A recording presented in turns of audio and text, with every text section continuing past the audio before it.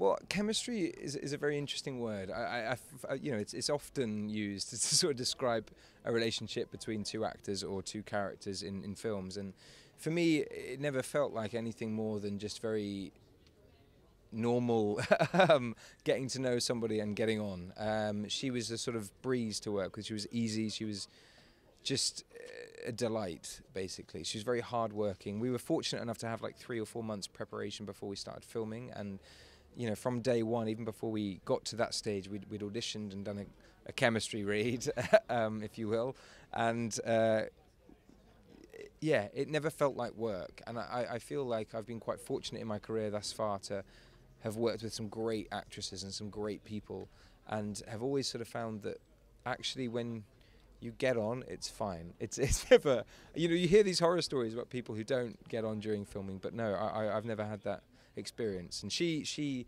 I'm a big fan of Game of Thrones. I'm a big fan of her work, and you know, to to work with someone of that quality is is always a privilege. Ladies and gentlemen, you're watching HeyUGuys! Hey You Guys, huh? Hey, you guys. Is that from the Goonies? It is indeed, yeah. Nice. Hey,